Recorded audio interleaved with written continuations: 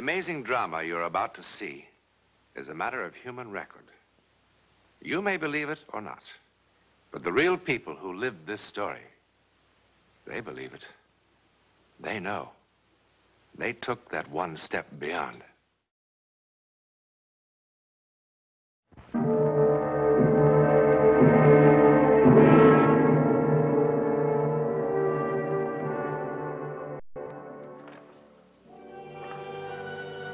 It can, of course, happen anywhere.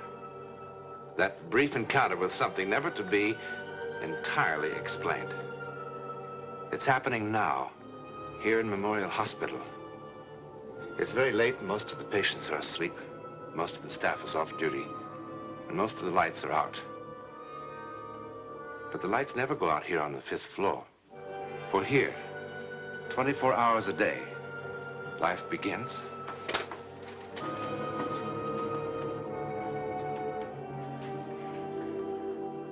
and ends.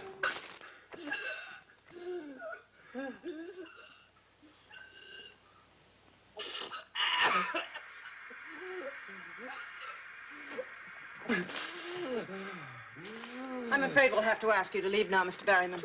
I, th- uh, I, I, th- I thought we didn't have regular visiting hours on this floor. Well, we don't, but your doctor feels that it's. Anyway, anyway, Mr. Mr. Berryman is from the press. It's a long, it's a long time since I've talked to a gentleman of the press. Mr. Watson, we don't want you to talk and thrash around and get exhausted. All right, all right. Now sit down. Look, maybe I should go. Nonsense. I'm a dying man. That gives me some rights around here. Now sit down. You have five minutes, Mr. Berryman.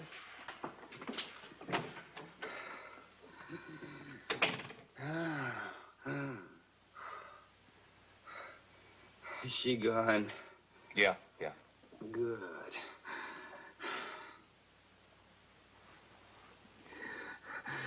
I wasn't kidding, you know. I'm down pretty, pretty close to the end of the string. Oh, I don't know about that. I do. Well, what paper did you say you were from? Chronicle. I, uh, I do feature stuff. And, and when they told you Ronnie Watson was about to pop off in Memorial, and why don't you drop by and do a piece on him? What did you say? Now, I, I want the truth. Well, I... I... You tell me the truth. I said, who the blazes is Ronnie Watson? Thank you. I knew that. You don't look like a horse player. Did, did they tell you about me, I mean? All of it? Did they tell you one year I I rode 345 winners? And that time I I made four hundred thousand dollars in stakes in, in three weeks. And the time I made a million in three months. They told me. Did they tell you about that time in California? Look, Mr. Mr. Watson, I think you better take it easy. No, no, no. I'm all right. I'm all right. I'm, I'm gonna have a long rest in, just a little while. And be, before that, I, I gotta find someone who'll believe me. Believe you? Ah. About what? No, nobody ever has. Sam said no one ever would. But somebody's gotta believe me. Someone's just got to believe me. Well, I think I better get the nurse. No, no. I'll be good. I'll be good. Please sit down. Please, please, please.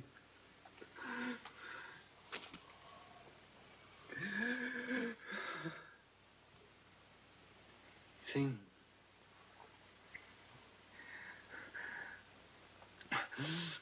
Sam Barry. Sam Barry was was one of the greatest jockeys who ever lived. He was my friend. I was I was only 20 years old. And I was the scaredest young jockey on that Ohio wheel. Outside of Sam, there was only one person in the, in the whole world I really cared about. It was a girl named Rita. I thought she was quite a girl. Thought you were my girl. I can see you better from here. Barry rides flyboy in cab. My, what a famous man. And all the headlines. Sure, the racing form. Two old fashions and a ginger ale. One of these days. I know, one of these days. You're really gonna win on Flyboy tomorrow, huh? Well, it's a cinch. Unless you get too cute with that daddy's choice. Are you kidding? The way she quits in the stretch.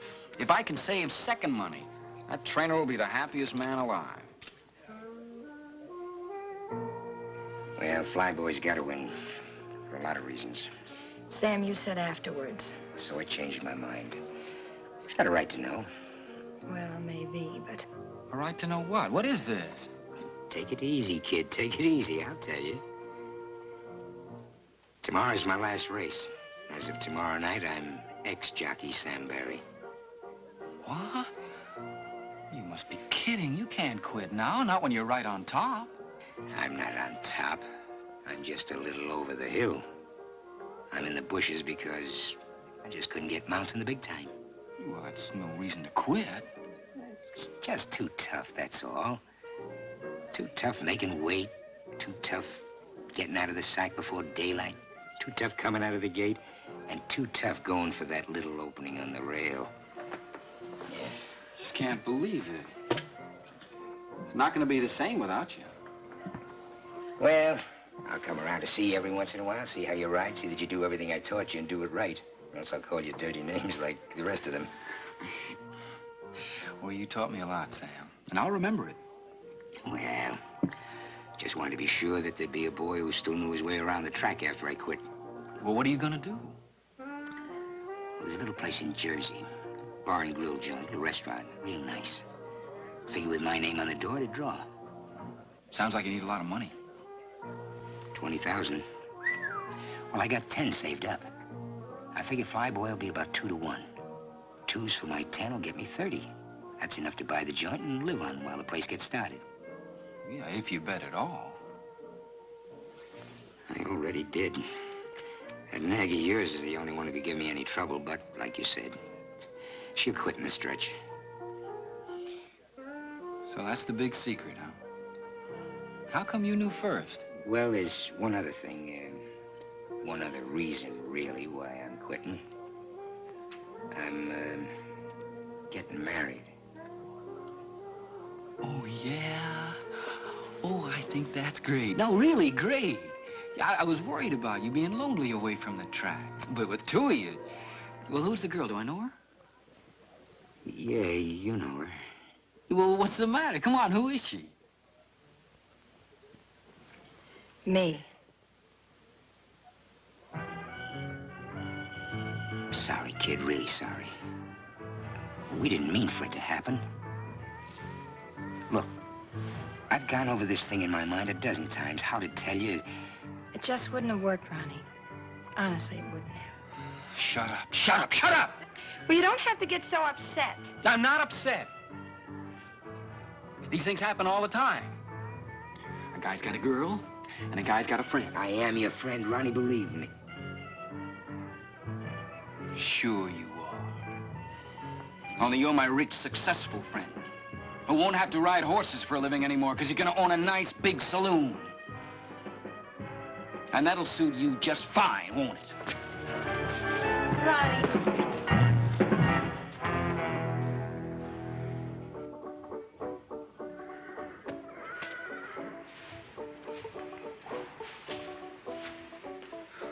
Lying awake all night hadn't cooled me off one bit. I kept hearing Rita saying it wouldn't work with us. It would have worked fine if I'd had some of Sam's money. Sam Barry, favored to win on Flyboy. Sam, my friend. My good friend.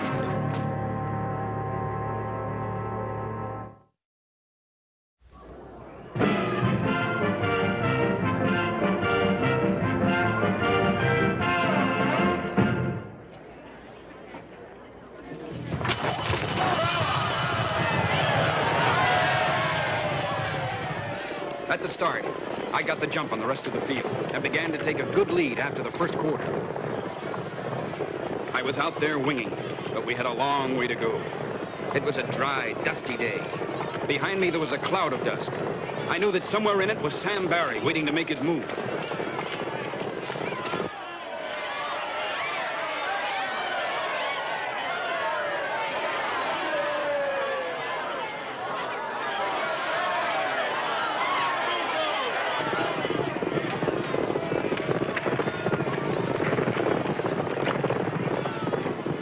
I had a good lead with a quarter to go, but I could feel the horse starting to shorten stride.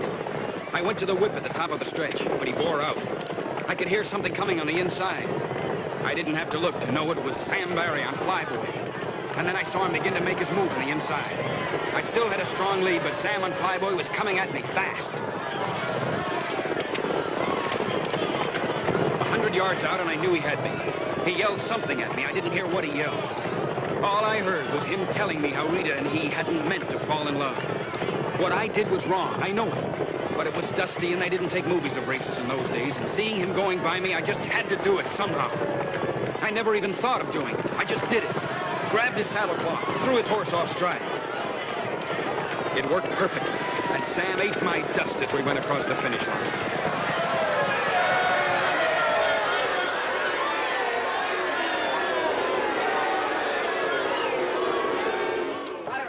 Come. You must have seen what happened. Everybody else out there did. Simmer down.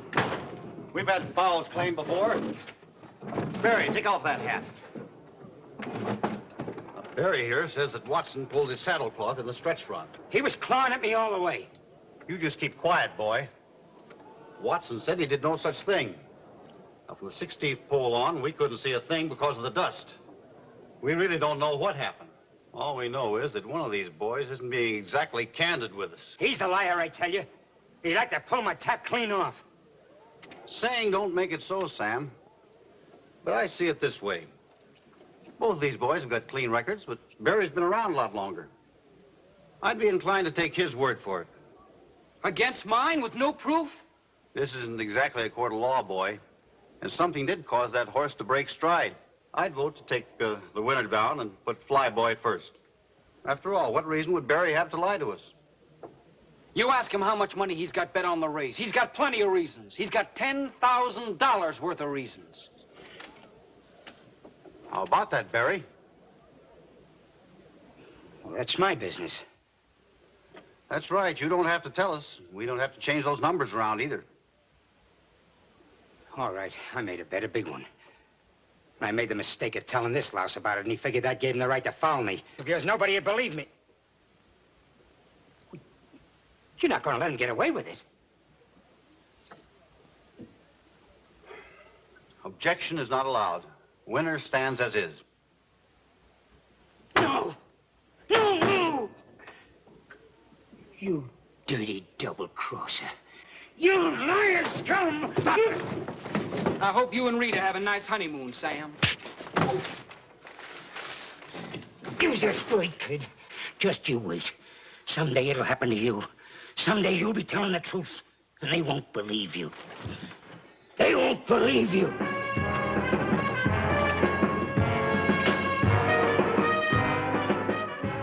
I went to the top all right. After 10 years, I was right up there, including the penthouse. Thanks, Mr. Watson. Ronnie, you were great. I tell you, kid, you were absolutely sensational. Yeah, thanks a lot. You fellas don't mind if I open the windows now, do you? Look, will you be kind of careful when you take the cameras out? You know, this nice furniture here costs a lot of money. Thanks a lot. Walt, do me a favor, will you? If you get a chance, don't get me another one of these things, huh? What's the matter with you, kid? Are you nuts? You know the kind of people he usually interviews? Movie stars, big shot politicians, scientists. You know what a break this is for a jockey? Look at my hands, Walt. They weren't this bad the first day I won the Derby. Well, I must admit, I was a little shaky myself. Mean what I said about retiring, huh? Well, you might have told me first before telling 20 million strangers. After all, I am your agent. Well, I talked to you about it before. Yeah, but this time you sounded serious. I am serious. Yeah, but why, kid? You're at the top of the heap. What, the whole thing is just, well, it's, it's simply crazy. Walt, you remember a fella named Sam Barry? Sam Barry, sure. He was a pretty good boy. He was the best. You want a blast? Yeah, I'll have a blast. Make it bourbon. And you stick with the ginger ale. I know. Anyway, Sam talked to me once about getting out in time. Yeah, well, he should have taken his own advice. I just read somewhere a short time ago he was riding jumpers down at some crummy track in South America. Imagine an old man like that, probably working for $10 a race and a place to sleep. Well, something happened to uh, change Sam's plans. Nothing's gonna change mine. Ronnie, would you mind telling me why? I'm tired. It's that simple. I, I want to take it easy. I want to sleep late. I'd like to drink what you drink, only I can't do it and make weight. Okay, kid. Anything you say. I can't make a man keep on riding when he wants to quit. The only thing is, can you afford to quit? I've just about got it made. Not on the fees, you haven't. Well, no, but I've been betting a little bit now and then over the past Now, year. listen, kid, I Relax, will you? What are you, my conscience or something? Anyhow, I didn't pull any horses. I just bet on what I thought was surefire winners. Horses I was riding. Ones like Miss Sunshine tomorrow. Miss Sunshine. Oh, that's a little filly out in California I told you about, and you said no. That's right. And when I did, the odds lengthened out. So today, some clown out in Chicago that makes a house line hung out four to one. And another clown took the odds. Me. Suppose they've got another boy signed a rider. I checked, they haven't. Look, Ronnie, it's 11 o'clock now. You mean to say that you're going to be riding tomorrow afternoon in California? It's only 8 o'clock in California, Walt. Now, there's a sleeper plane out of here in an hour and a half. It can be five hours late, and I still make the race. Oh, uh, by the way, what's the name of the fellow I'm riding for? Bear. Tex Bear. Look, Ronnie, I wish you wouldn't do this, kid. It's just crazy. Will you wire Tex Bear in care of the stables at Capistrano Park, and you tell him I'm on my way?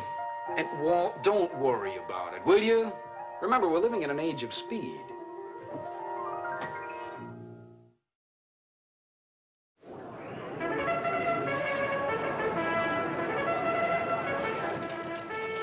I was getting ready for the post-parade when I saw Sam. Sam Barry. I couldn't believe it at first. He was too old. But why not? I remembered hearing of jocks in Europe who'd ridden in their 60s and won. It was Sam, all right. Sitting straight up in the saddle the way he always did in the post-parade. Sam Barry, riding a little black horse with four white feet. Wanted to talk to him, but I figured time enough after the race.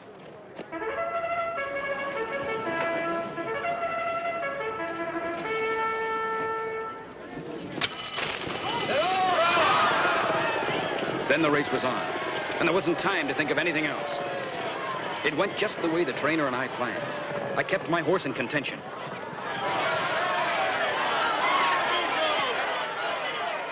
Along the backstretch, the front runner started coming back to me. I had plenty of horse under me as we turned for home. I knew I was going to win it. One horse came up fast. Somehow it didn't come as a surprise that it was the one with the white feet. Sam Barry's horse. Then it happened. He drifted out. I had to pull him up. By the time I got him back to running, it was too late. I finished fourth, fifth maybe. I don't remember.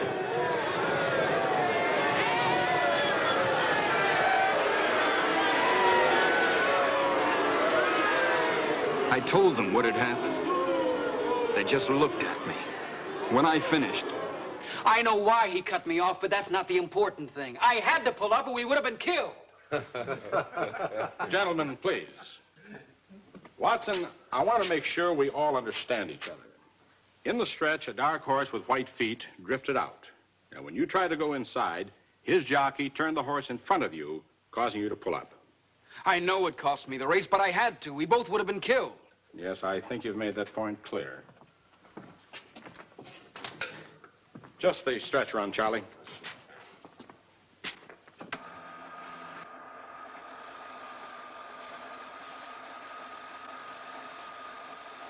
This is the race you just rode, Watson. You see yourself there on Miss Sunshine taking the lead at the top of the stretch. There wasn't any other horse in front of you. Something's wrong. Now there, see? You drift out a little. I, I had to. There must be some mistake. That's enough. All right, Watson, let's stop kidding ourselves. We've all had our little joke. There wasn't any horse with four white feet in this race. You pulled that horse up for some reason of your own. No, I had to, don't you see? Sam did it. He must have done it. It's funny, he said no one would believe me. Sam? The other jockey was Sam Barry. Sam Barry? Have you lost your mind? I'd know him, wouldn't I? He used to be my best friend. Watson, what's the matter with you? There was an item about him in today's form. He came a long way to cut you off in today's race. What do you mean? Sam Barry was killed in a steeplechase in Uruguay yesterday on a horse called Patas Blancas. White feet. No. No. No!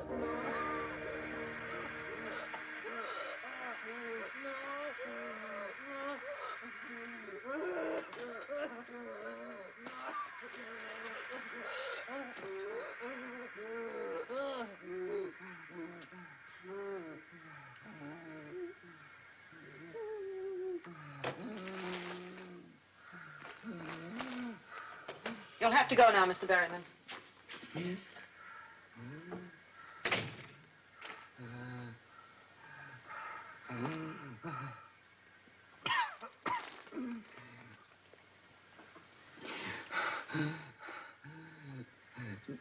No one, no one has ever believed me. Now, I gotta know. Do you? Do you? I believe you.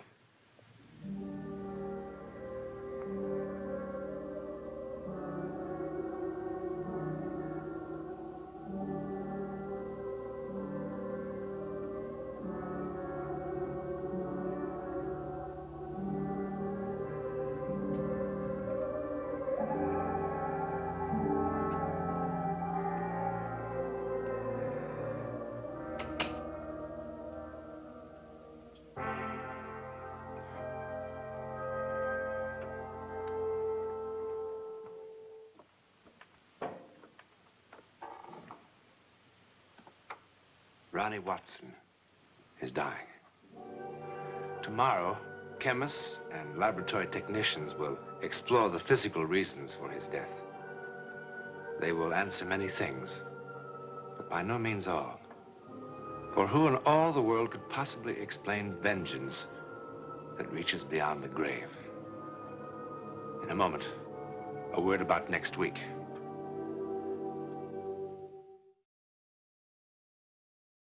Next week, we will visit India, still remote, mystical, mysterious, even in the jet age.